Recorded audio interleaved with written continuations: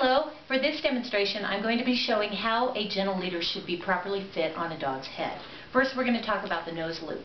The nose loop goes over the dog's nose and the second piece goes behind their ears and snaps together. A loose, a, a gentle leader that's too loose is going to allow the nose loop to slip easily over the dog's nose. We don't want it to be able to easily slip over their nose. We also don't want it so tight that she can't open her mouth. So you're going to move this plastic piece underneath up and down until it is in a position where if you pull on it, it's not going to go over her nose, but it still fits loosely on her muzzle. That seems about right. And then we lock it into place.